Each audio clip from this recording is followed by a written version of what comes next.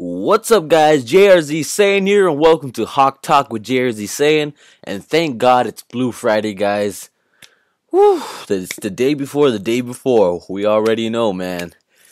Here we go, Minnesota Vikings. Here we go. We've had a pretty, pretty awesome turn of events that happened. Uh, Green Bay against the Lions. It ended with a hail mary by Aaron Rodgers to Richard Rodgers, and I know it's not about the Hawks, but I'm just saying we got to keep that going. You know, that that the way that that game ended, the hype it it gave me that it gave a lot of fans was crazy. And for all you Packers fans, it, eh, there probably won't be any Packers fans watching, but for those Packers fans out there, we got you. We're gonna defeat the Minnesota Vikings.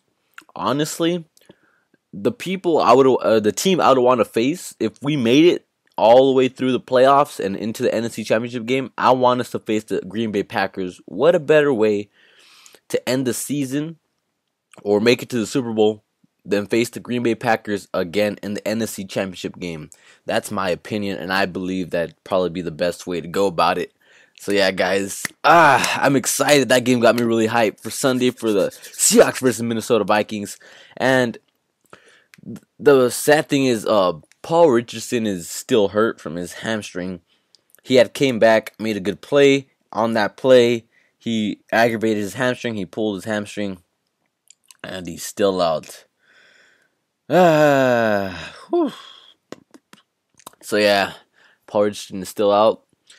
Um, Deshawn Shead got promoted to starting corner, which I approve of. He's been certainly the jack of all trades He's been thriving at everything he's been doing at every position he's been playing. Free safety, strong safety, corner, nickelback, everything, guys. And you know, my hats off to him, man. He he's been playing lights out, or as good as he possibly. We need him to play as good as he can. Um, what we need him to play, and we'll see how he does against the Minnesota Vikings. Most likely, I wouldn't want us it's kind of going uh tomorrow i'm going to go over how we should beat or how we can beat the minnesota vikings but Deshawn Shead, I mean, that we shouldn't put Richard Sherman on Stefon Diggs, that's for sure. Not until we know exactly how good Stefon Diggs is. He hasn't gone against an actual shutdown corner.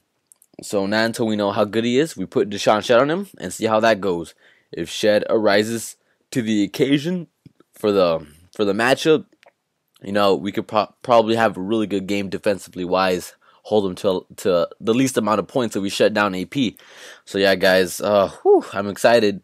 Thank God it's Blue Friday. It's the day before the day before the game, and ah, I hope you guys are having an amazing Blue Friday. There's not a lot of things that have been happening.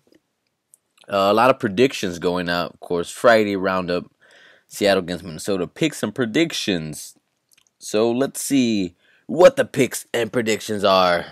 Okay, so one one of uh, the reporters say that he predicts that we're gonna win 24 to 20 in the final. Russell Wilson's gonna be 45 of 59 for 605 yards. Oh no, my bad. He's saying in the past two games. I'm about to say that's that's some crazy stats that Russell Wilson has to put up. Nah, but he was picking Seattle win 24 to 20. My bad. Goslin predicts Seahawks to win 19 to 17.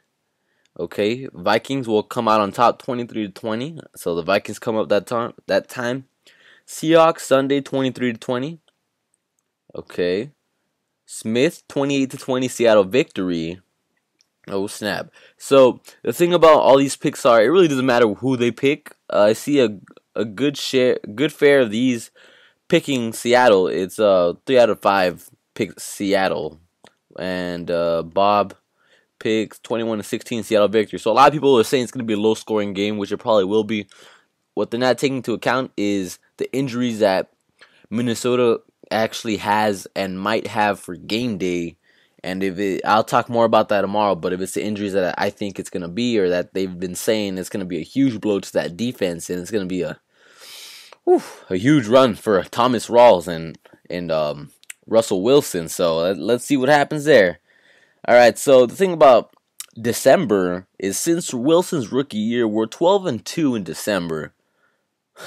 so we're gonna take history on our side, twelve. So we're gonna take history on our side. So we're gonna leave it off with that note. Stay tuned for tomorrow, where I'm gonna go over what we should do in order to beat the Minnesota Vikings. Hope y'all have an amazing, blessed day, and go Hawks! I'll catch you guys later.